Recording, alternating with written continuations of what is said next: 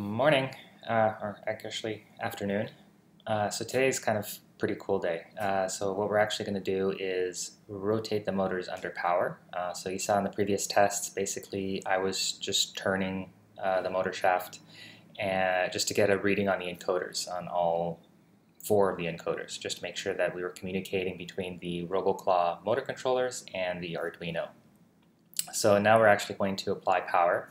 So there's a few aspects of that that have been kind of weighing on me a little bit. Um, partly having to do with the, the wiring, but most critically having to do with the two LiPo uh, lithium polymer battery packs. Uh, so these are battery packs that I've chosen, and, and I will go into these in more detail in a, in a future episode. But uh, these are battery packs that I've chosen specifically because of their capabilities in managing the current and voltage, uh, which is critical for these types of batteries, uh, as I want to make Rover solar powered.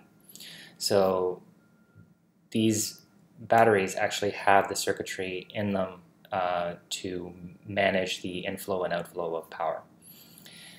That being said, because they have that circuitry, they have kind of protect they, they have kind of protect themselves against people like me.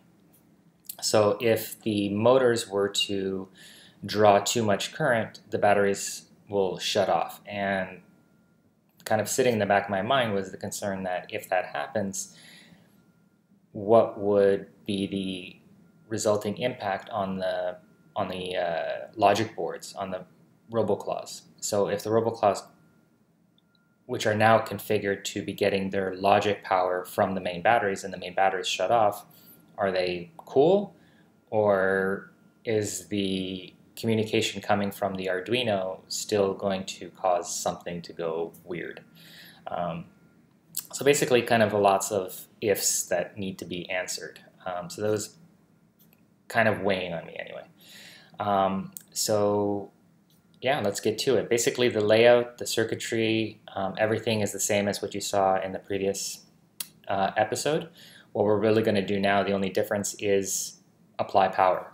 So we're going to update the code or create a new sketch for the Arduino Uno, which will instruct all four motors to start turning. And uh, we should still be able to review the serial monitor to check out what the encoders are saying and go from there. So let's take a look. So what we're looking at here is the new RoboClaw drive test, drive test 1. And let's just scroll through here. Um, much of this is the same uh, as what we've seen before. We've updated some definitions. Uh, we still need here the, uh, the relay controls to flip the first and last, and that and right there, that's our hex value um, to turn on those two relays, to flip those two relays. Uh, next, we've got some variable definitions to control the um, the uh, roboclaws, and up top there you saw the uh, variables to define the uh, capabilities of the motors. So basically we need to instruct the RoboClaw as to um, what these motors are able to do. Uh, so basically we need the RoboClaw to understand how fast or slow these motors can run. So when we tell it to go x speed for y distance, it needs to understand how fast is it actually going to get there. And that's what these values are here. So if, so if we tell it to travel five at 5,000 for 35,000 um, ticks, then it needs to have that feedback from the motors so that it understands how fast it got there or and when it actually achieved its destination. Um, so RoboClaw actually has the capability of messaging both motors on each RoboClaw simultaneously. Um, here we're actually communicating with each motor on each RoboClaw individually. Uh, it just gives us more granular control. Um, and we'll actually come back to why that's um, of value to us. Um, but basically we're using both addresses um, and both motors at each of the two addresses. So here we're basically telling it to accelerate at 18,000, travel at 5,000, um, that's the speed, and then for a distance of 35,000 ticks.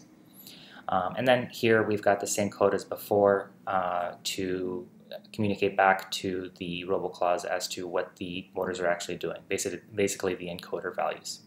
So let's hit the, uh, the upload here, um, send it over to the Arduino, which will then uh, send it over to the roboclaws, and then we'll take a look at the serial monitor to check out what's going on.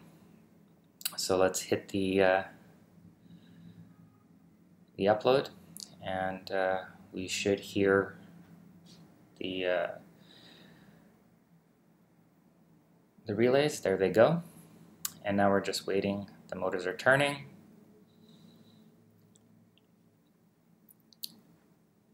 And there we've got it.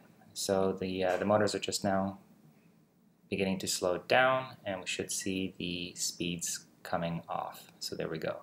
And we're hitting a, a zero speed there. So awesome. Everything looks good. So let me show you what that actually looked at like at the motors. So we're waiting for the Arduino to start flickering on us. There he goes. Now the relays. There are the relays. And now for the motors. There they go. So they'll run for a few seconds and then come to a stop. Awesome.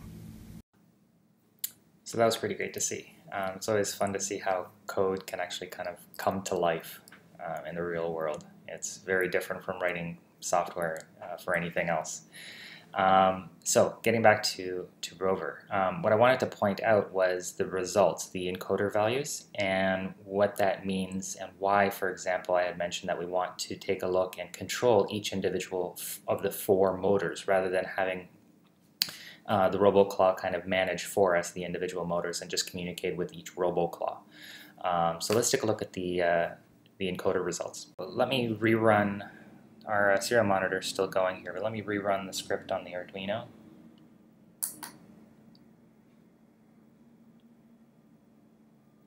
There, the motor's going again.